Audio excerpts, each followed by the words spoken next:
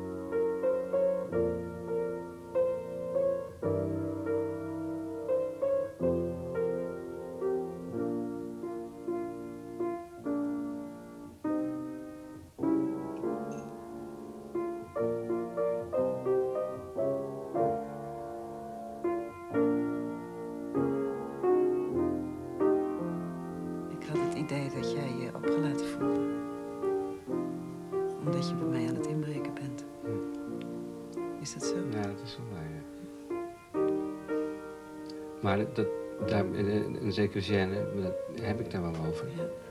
Maar eh, dat zal me er toch niet van weerhouden om, om in te breken. Ja. Daar vind ik het een te belangrijke zaak voor. Ik breek dan ook maar meteen in met volle map, hè. En eh, ik vraag je misschien de moeilijkste vraag. Eh, wil je iets over jezelf vertellen? Wil je jezelf beschrijven wie je bent? Het algemeen? Hm?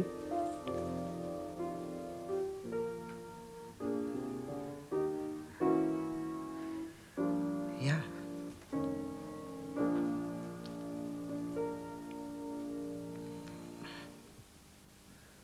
Nou ja, ik ben eh, gedeeltelijk wat je ziet dus, hè? En eh, wat erachter zit, dat is... eh,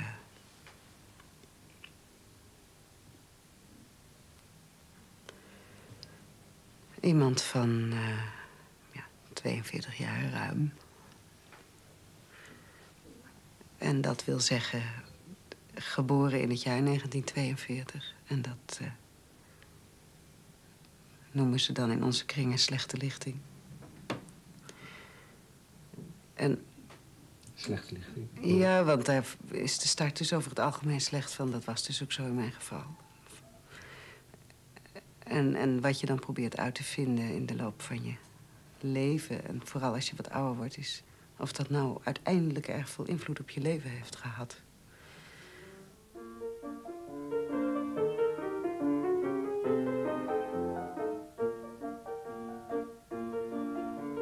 Nou, ik kan wel wat vertellen over ehm, toen ik op de middelbare school zat. Ik had dus eigenlijk nooit concreet contact met Joden. Behalve dan nog een tante en verder niks. En toen ik 18 was, toen had ik mondeling Frans op de middelbare school. En dan heb je zo'n lange periode voor dat mondeling. Toen, zei, in Parijs hebben wij familie. Een verre aangetrouwde familie. En mijn moeder zei, ga er maar naartoe. Geef mannen maar geen hand. En, eh, en leerde maar Frans. Nou, ik heb geen Frans geleerd, wel Jiddisch. Want het waren hele orthodoxe mensen. Heel, er was ook een, een heftige strijd tussen die ouders en die kinderen. Want die ouders waren dus heel vrij. Die vader verzette zich ook heel fanatiek. Maar die kinderen waren dus heel orthodox geworden. Die, eh, er was dus één nicht, nou, ik noem het nichtje. Het is dus, bij ons is dus zo door al die verloren generaties... is wat, wat achter, achter, achter nicht is, is dan toch nog dichtbij genoeg om mee aan te houden. Omdat er niks anders is, hè? Kan je het Jiddisch nog? Beheers je het nog? Een bissel. Ja? Beschrijf nu eens dat gezin waar je toen was, in het Jiddisch. In het Jiddisch? Ja. Nee. Ja, probeer eens.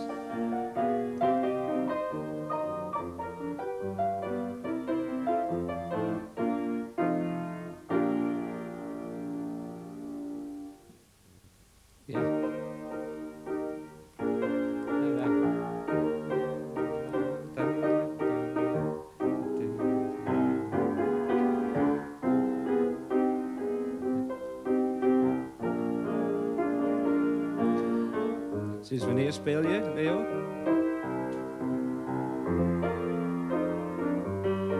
Praten en breien is wel een beetje moeilijk. Wat? Praten en breien is een beetje moeilijk bij piano spelen. Maar eh, Hoe was je eerste pianoles? iets anders dan dit.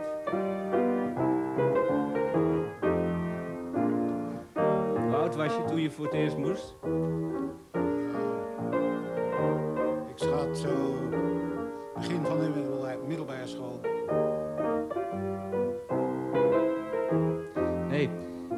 Elkaar het laatst ontmoetten, toen eh, zat je danig in de put.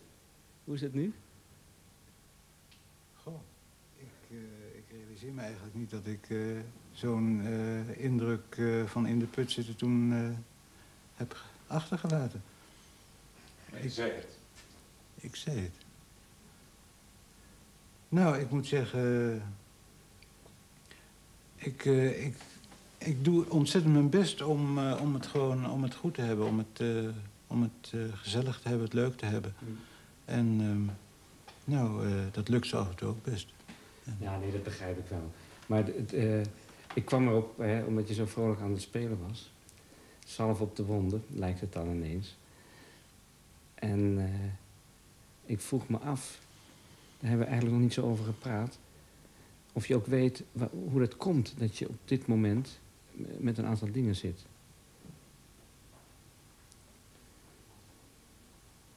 Ehm, nee. Eh, hoe, hoe het komt. ehm, je hebt een. eh, ik heb 41 jaar leven achter de rug. En daarin is natuurlijk ongelooflijk veel gebeurd. En waar nou wat precies vandaan komt, dat, eh, da- dat, eh, dat weet ik niet. Ik, Waar ben je geboren en wanneer? ik ben geboren in Bern, Zwitserland, in 1944, maart 1944. Een merkwaardig jaartal, hè? Ja, het is, eh, het is dus midden in de oorlog. Als eh, zoon van twee Joodse ouders, eh, midden in de oorlog eh, geboren. Dan weliswaar buiten het directe oorlogsveld, namelijk in Zwitserland. Maar eh, Herinner je je daar nog wat van, die eerste levensjaren? nee, eigenlijk... eh, Kan je terug, kan je zo ver terug? Nee, tijd? ik, ik heb een paar eh, schimmige eh flarden van, van, een, van beelden. Maar ik, ik weet eigenlijk helemaal niet zeker of die wel uit, echt uit die tijd stammen. Ik herinner me nog dat ik in de sneeuw achter mijn ouders aanliep, aanhobbelde. En dat ik eh, probeerde sneeuwballen naar, naar mijn ouders te gooien... en dat mijn vader de speels eh, boe achterom deed. Maar of dat nou echt, eh echte herinneringen uit Zwitserland zijn... Het, het waren sneeuwherinneringen, dat, dat wel. Maar of het nou Zwitserland was, dat weet ik eigenlijk helemaal niet. Hebben je ouders je verteld waarom ze in Zwitserland waren? Hoe dat gegaan is? Ja, ze hebben er wel, ze hebben er wel wat van verteld.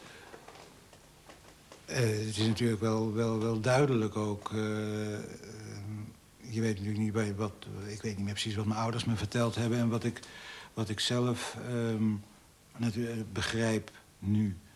Maar ehm, ze, hebben, eh, ze hebben verteld eh, van het feit dat ze in, in, natuurlijk, dat ze in 42 nog gevlucht zijn.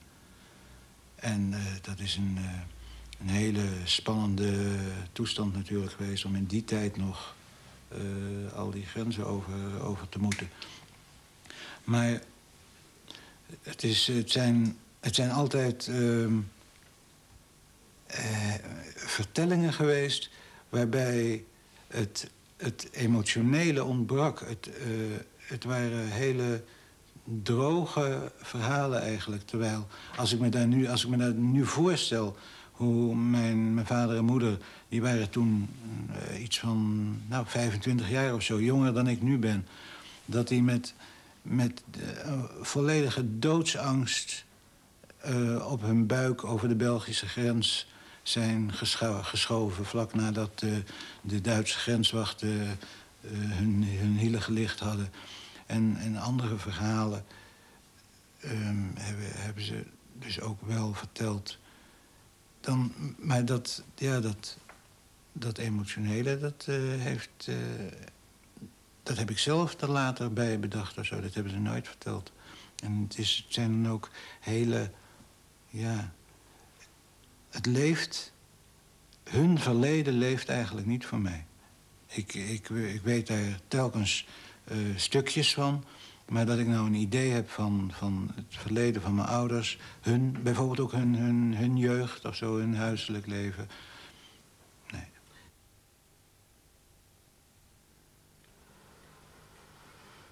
Zekerheid, twijfel, stoerheid.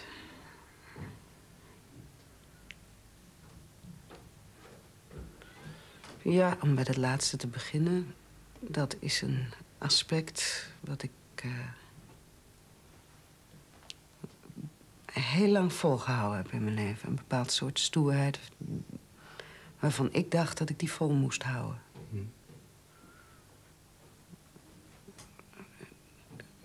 Niet zeuren, maar uh, doen, bezig zijn. Vooral uh, met overgave overal de vrolijke kant van zien optimistisch bezig zijn, flink zijn. En dat is ook een aspect waarvan ik de laatste jaren ben gaan betwijfelen... of je dat als doel moet verheffen. Is dat een uh, langzaam proces, dat betwijfelen? Of is er iets gebeurd waar dat met een slagje ontstaan is? Nee, het is een heel langzaam proces. Dat gebeurt heel sluipend. En op het moment dat je merkt dat het aan het gebeuren is... dan gebeurt er iets. En wat gebeurde er toen? Nou, dan komen er een hoop onzekerheden los. Dan komt die twijfel. Van waar ben ik mee bezig en... Uh... Ja, maar er moet een dag geweest zijn dat het loskwam. Ja, nou, wat bij mij een uh, ontzettend breekpunt was... dat is... Uh... dat zal voor iedereen wel anders liggen. Wat ik van mezelf herinner als een ontzettend breekpunt was... Het, de aanslag op de sportmensen van Israël in München. Toen heb ik een ontzettende crisis doorgemaakt. Waar ik zelf dus ontzettend van geschrokken ben. Dat dat zo erg kon toeslaan. Want er waren in de loop der tijd zoveel ontzettende dingen gebeurd. En zoveel aanslagen en kapingen en terroristische daden. En die zijn daarna ook weer gebeurd, vol en dol. En waarom nou juist dat ene, daar ben ik ook nooit achter gekomen. Dat proces was waarschijnlijk al een tijd bezig. En dan plotseling gebeurt er zoiets. En dan word je er dus uh, met je neus bovenop gedrukt van ik heb daar iets mee te maken. Mm -hmm. Nou gebeurt het weer. Mm -hmm. en, en, en de wereld die staat toe te kijken dus. Nou gebeurt het weer. Laten we teruggaan naar 1942. Waar ben je geboren? In Amsterdam. En je hebt ongetwijfeld uh, je oorlogsjaren gereconstrueerd. Ja, maar daar weet ik dus zelf niks meer van. Nee. Maar wel gereconstrueerd nou, natuurlijk. Wil je daar iets over vertellen? Hoe jouw leven verlopen is, de eerste jaren? Nou, wij zijn uh, vlak na mijn geboorte in... Uh, zijn we dus gedeporteerd. Eerst naar Westerbork. Hoe oud was je toen? Nul. Nou, toch wel een paar dagen. Ja, een paar weken daarna. En, uh... Heeft je moeder je daarover verteld? Ja. Wat heeft ze verteld daarover? Hoe dat gegaan is? Ja, nou, goed. Dat, dat je uiteindelijk opgeroepen zou worden voor deportatie... dat wist je dus zo langzamerhand in die tijd. Mm -hmm. En het was dus een, een, een, beslissing op een gegeven moment van mijn ouders... om niet onder te duiken. Omdat ze net als ieder ander in die tijd dachten... dat, dat het werkkampen zouden zijn. Mm. En dat we er wel door zouden komen. En mijn grootvader, zeg maar, uh, toch wel een beetje het hoofd van de familie... die dacht dat het uh, uitwisseling naar Palestina zou zijn. En die geloofde heilig in, uh, in Zionisme en in Palestina. En die wou daar graag naartoe. Die heeft daar tot het eind aan geloofd. Die dacht echt van werkkampen. En dan worden wij uitgewisseld en dan mogen wij naar Palestina. Dat hebben ze echt geloofd. Ik geloof mijn moeder niet zo erg, maar... Mijn vader dus wel, denk ik. En mijn grootvader zeker. En die had dus een heleboel kinderen. Ik stel me zo voor, een moeder en een baby van een paar weken. En ik had dus nog een oudere broer. En een oudere broer. Wordt op de deur geklopt, gebeld. Ja, nou, dan staat dus alles al klaar, hè? Rugzak, alles is ingepakt. Ik denk ook niet dat het gegaan zal zijn van plotseling op de deur geklopt. Ze zullen een oproep hebben gekregen om Hm. zich te melden. Dan werden ze gehaald. Ja, nou, wat mijn moeder vertelt is dat... eh, bijvoorbeeld één Duitser tegen haar zei... dat ze dat kind beter weg kon gooien... omdat ze dat eh, toch niet lang zou houden. En toen eh, heeft ze gezegd dat ze het dan toch maar meenam... want dat ze dan, als het zover was, het zelf kon begraven. Zo was ze wel.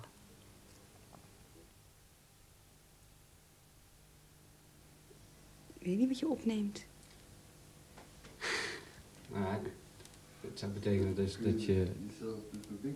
Het is interessant, want het, he- want het heeft ook over abort met abortus te maken. Als het inderdaad bewezen zou worden dat kinderen in de baarmoeder kunnen denken... dan eh, dat betekent dat dat dus een abortus inderdaad moord is. Mhm. Het is nou niet bewezen. Vind je het moord? Eh, ik weet het niet. Ik weet het niet. Ik denk dat je uit liefde ook iemand kunt doodmaken. Omdat je zegt van nou, ik heb dit kind niks te bieden. Dat je dan uit liefde inderdaad het kindje kunt dood laten gaan. Ja, Kan je je situaties voorstellen dat je je eigen kind zou doden? ja. Ik, ik, ik zelf, als je dan over de oorlog wil hebben, moet hebben... dan eh, kan ik me heel goed... Ik kan me van mezelf voorstellen dat als ik in een kamp zou lopen... met mijn kinderen... dat ik niet zou toelaten dat mijn kinderen zo zouden lijden. Ik zou ze doodmaken. Eh, ik, wil, ik wil ook niet... Ik weet ook zeker dat ik echt niet wil dat mijn kinderen dit overkomt. En dat eh, iedere keer als er een kind geboren is bij me... dan, dan roept het een ontzettende angst op voor hun, voor hun kinderen, voor hun kindskinderen. En eh, zolang ik het, zolang ik beslis over hun leven of niet leven, gebeurt hun dit niet. En toch beslis je over dat ze, dat ze moeten leven, dat ze er zijn. Ik weet niet of ik het zelf beslis of dat het gewoon gebeurt, dat het me overkomt.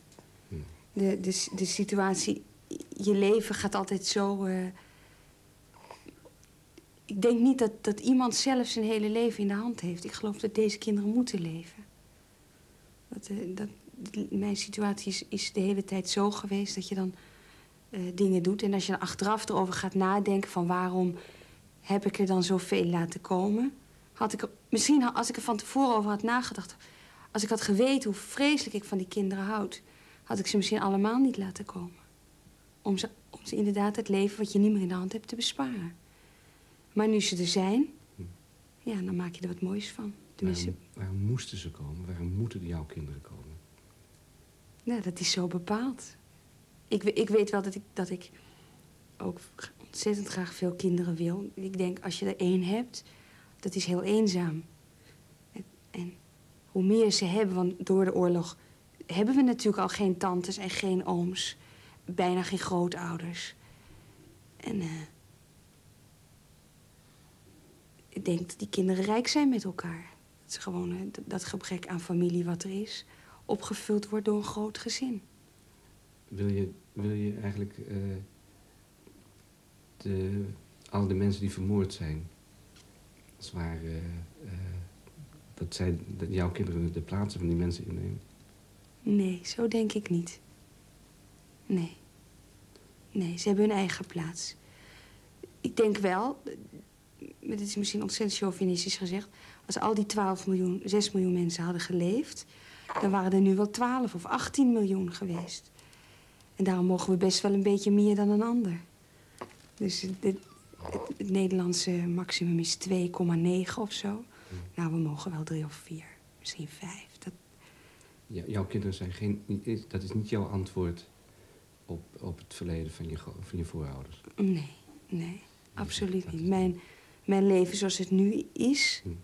is wel een antwoord op, eh, op het, eh, het leven en het sterven van mijn voorouders. Dus Dan moet je vertellen wat, wat jouw Ja. leven nu is. Kijk, ehm, op een gegeven moment... Mijn moeder heeft me dus altijd opgevoed met... ehm, met alle sentimenten die ze had over het... ehm, over vroeger, over haar familie die orthodox was. En, die, eh, en daar was het zo mooi en er waren alle feesten zo mooi. Er waren veel kinderen.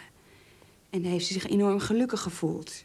Daarna is ze nooit meer zo gelukkig geweest. En ik was altijd heel erg betrokken bij mijn moeder. En... ehm, Was je alleen thuis? ik had nog een broer, En een vader? geen vader.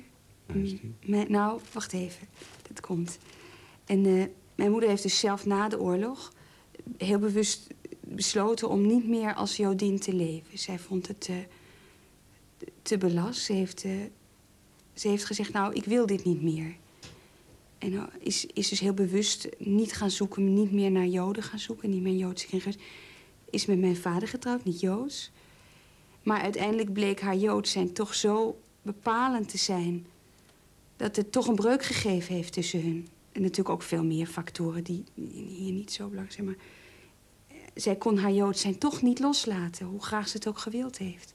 Ze heeft ons altijd opgevoed. We mochten dus niet zeggen dat we Joden waren op school. We mochten ons nooit laten registreren als Joden. Ze heeft zichzelf nooit meer laten registreren als Jodin. Maar ze heeft wel altijd veel verteld over vroeger en hoe goed het was en hoe mooi het was. Daar in Aurich, bij het ouderlijk huis van haar ouders... waar alle ooms en tantes waren, grote gezinnen. Ze waren er erg arm, maar heel gelukkig. En dat heb ik willen zoeken. Ik, ik denk dat ik onbewust iets heb willen goedmaken voor haar in haar leven... omdat ze toch nooit gelukkig is geweest. Ze heeft ook na de oorlog niet meer gelukkig kunnen zijn. En ik ben het gaan zoeken in, eh, in, eh, hier in Amsterdam. eh, ben ik toevallig via heel veel omzwervingen bij een, een gezin terechtgekomen... waar dan ook veel kleine kinderen waren.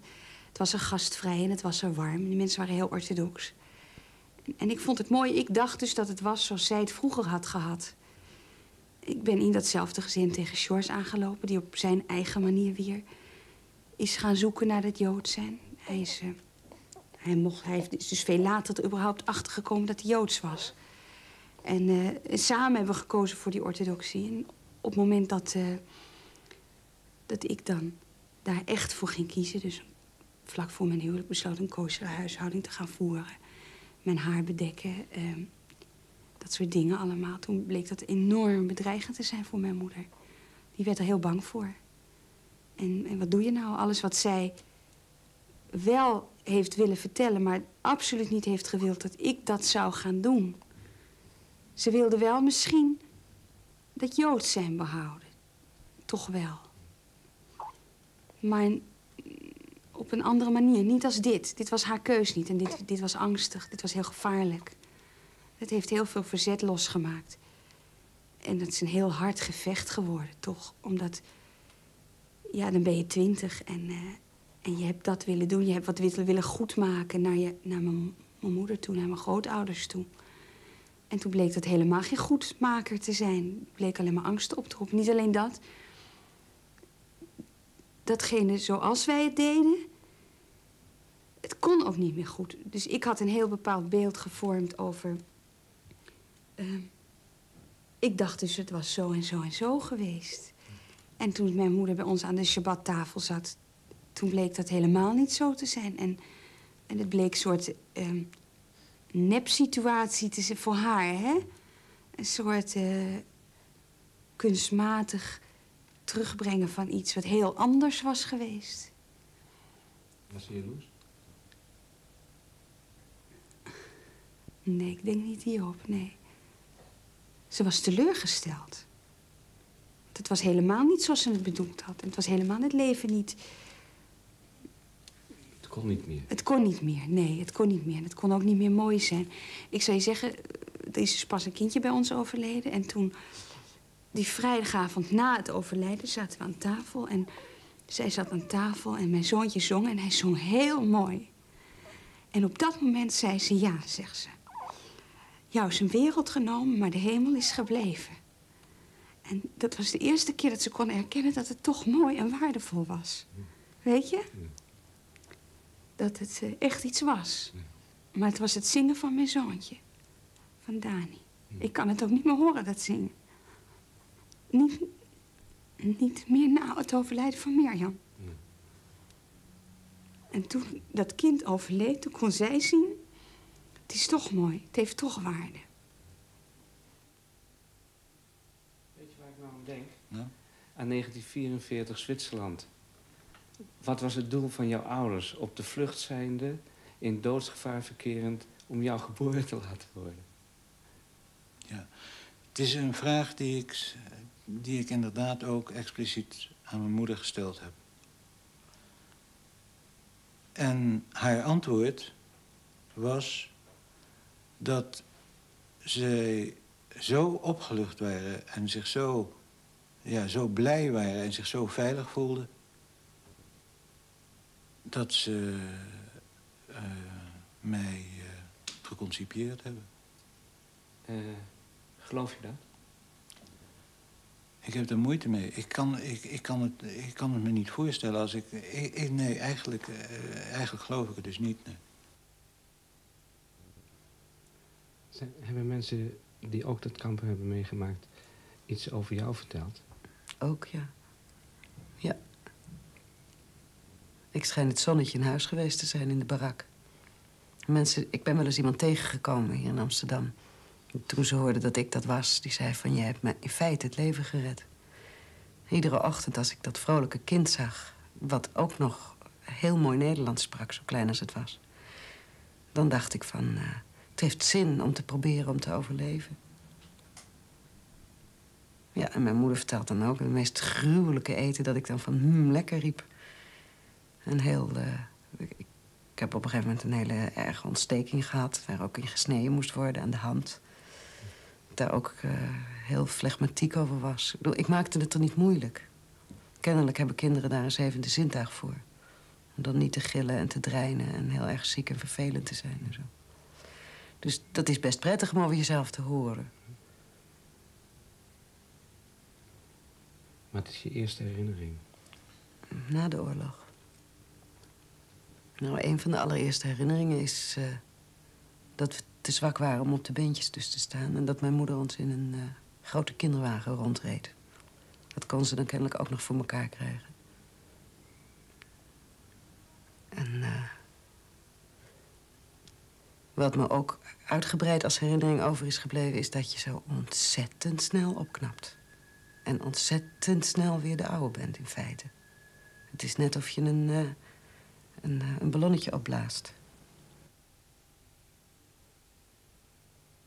Ken jij gevoelens van wraak?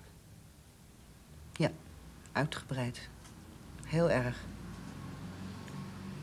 Ja.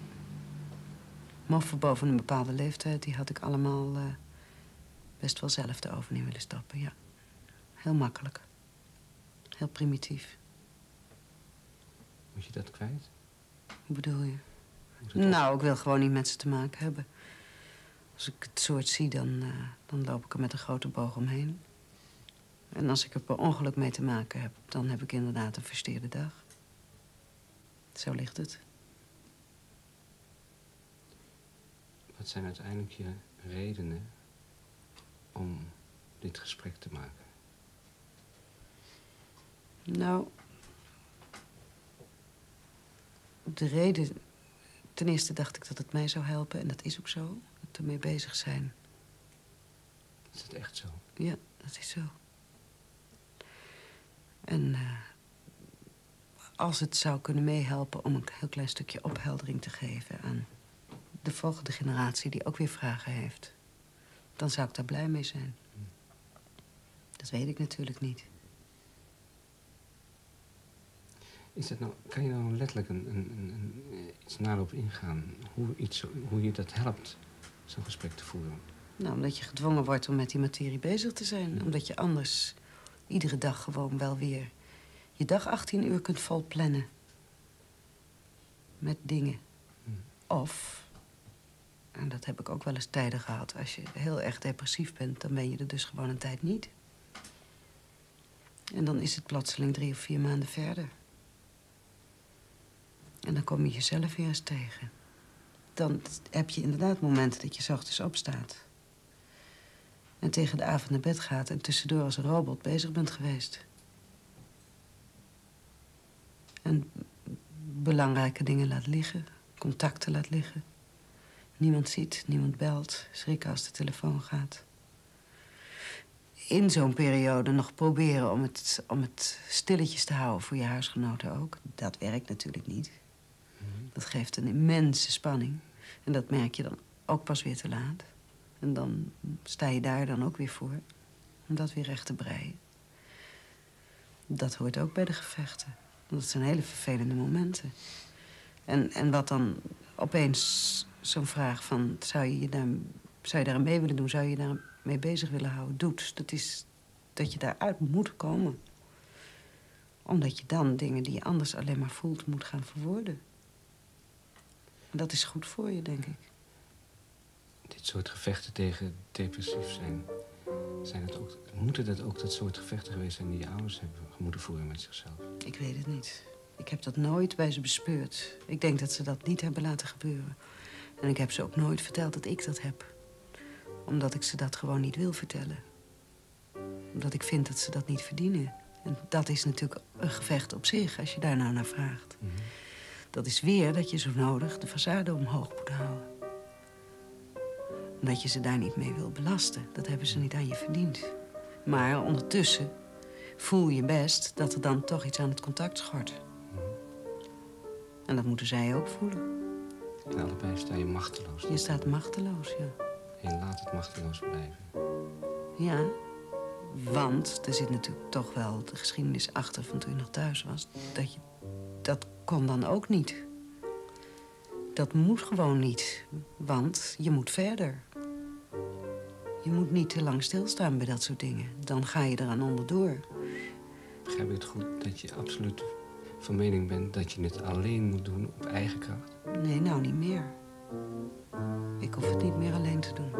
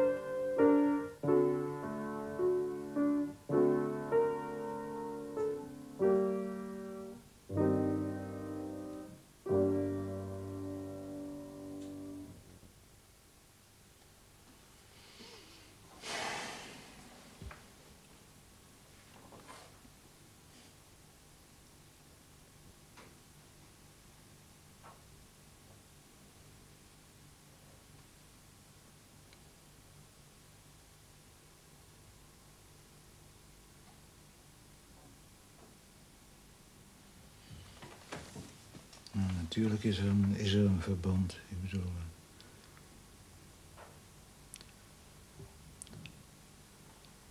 Je komt niet, je komt niet ongeschonden uit, eh, uit zo'n tijd.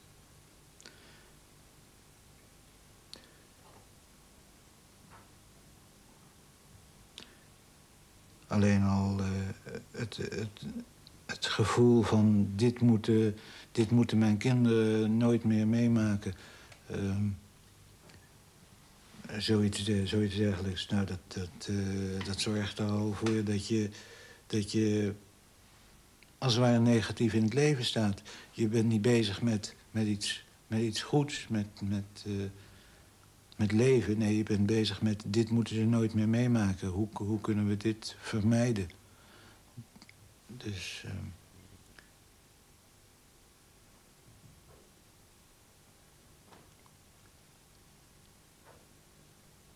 Ik denk trouwens, dat, is ook iets wat, wat, eh, wat naar aanleiding van, van het denken van de laatste tijd bij me is opgekomen. Ik denk dat, eh, dat de tweede generatie problematiek, om het zo eens te noemen, dat die helemaal niet alleen eh, zit bij, ehm, bij de tweede generatie, dat wil zeggen kinderen van oorlogsslachtoffers.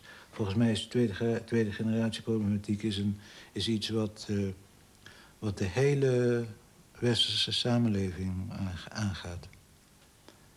Ehm, dat, ehm, ik, ik zou het, ik zou het eh, stom vinden als, als het eigenlijk als het alleen maar beperkt zou blijven tot het denken hierover tot, eh, tot kinderen, de, tot, tot Joodse kinderen of kinderen van oorlogsslachtoffers.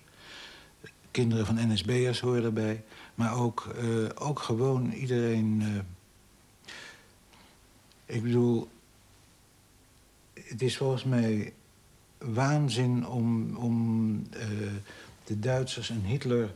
om, om al het slechte daar, daar te projecteren, daar te laten.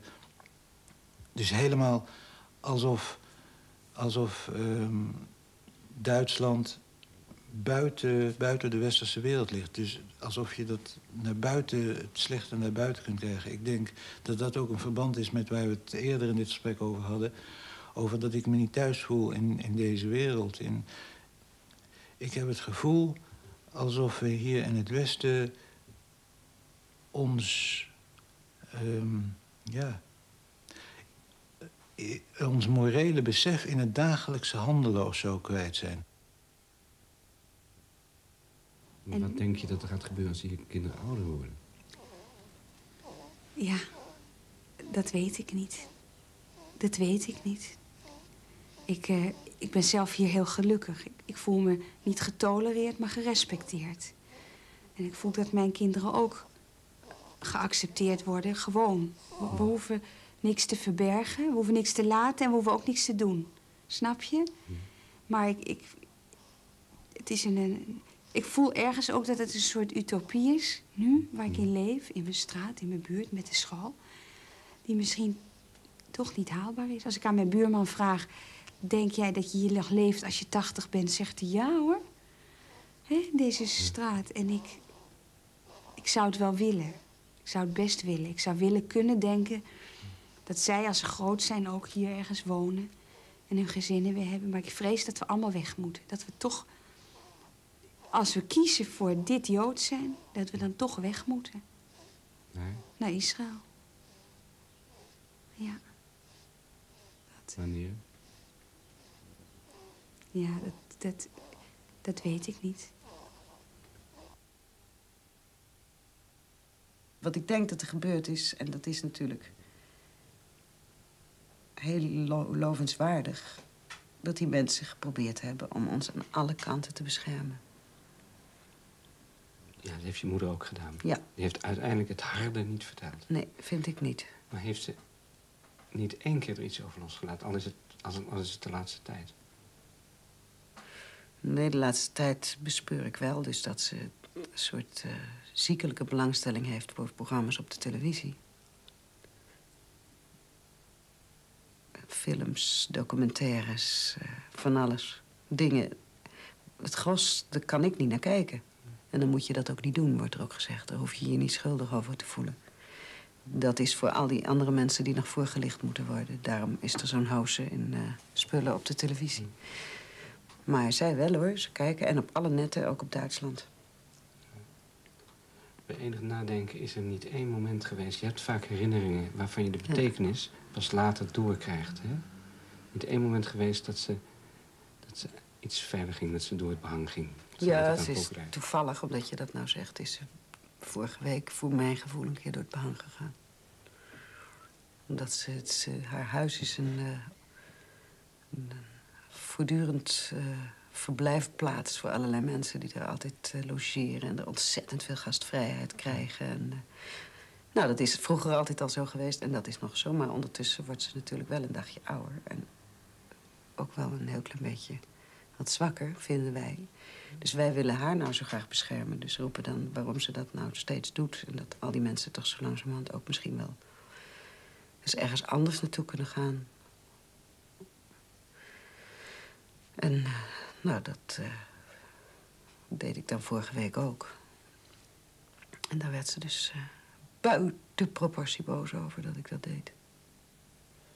Buiten alle proporties. En ze zei dus dat als ik uh, bijvoorbeeld naar Israël ging... dat ik dan uh, bij mijn broer logeerde. Dat ik daar onmiddellijk van uitging dat dat kon. Of bij mijn vader. En dat uh, degene waar het dus nu om ging... die, die kwam dus speciaal naar Holland... omdat ze wist dat ze bij mijn moeder terecht kon... en dat ze niemand anders had. En toen zei ze, en daar ben ik erg van geschrokken... die zei, die heeft geen broers, die heeft niks meer... want die zijn allemaal verpulverd. En zij vindt dus kennelijk dat ze, zolang ze het nog enigszins kan en zolang ze leeft, dat ze daar een taak in heeft. En uh, ja, ik word dus heen en weer geslingerd. Dus aan de ene kant de wil om haar te beschermen. En aan de andere kant, uh, ja, toch wel diep ontzag. Voor zo'n mentaliteit. Ik weet niet of ik dat op zou kunnen brengen.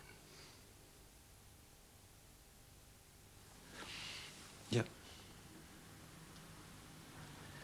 Ik, uh, ik heb in ieder geval uh,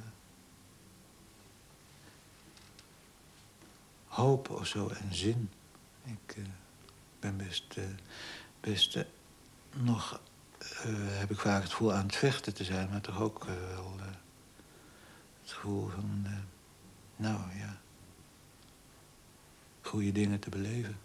Dus die geknapte moed, daar valt, wel, valt nogal mee dus? Ja, die... Uh... Ja, goh, um... ja, ja, moed uh, blijf ik... Soms is, soms, soms is wel eens de moed er wanhoop, maar... moed, ja, dat is... en vrolijkheid. Precies. Oké, okay. de laatste mop.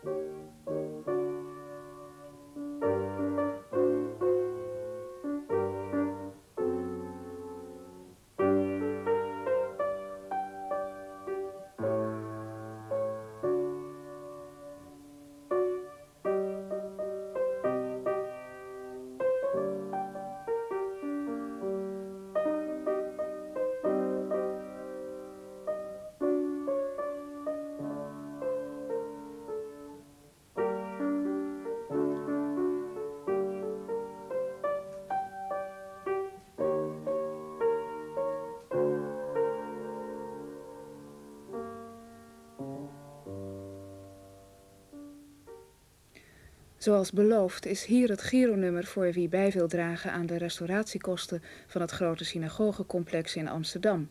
Het is postgiro 55 33 15 ten name van de stichting Vrienden van het Joodse Historisch Museum te Amsterdam. Wie naar aanleiding van deze uitzending behoefte heeft om te reageren, kan tot ongeveer 2 uur vannacht bellen. Dit is het telefoonnummer 020 73 06 29.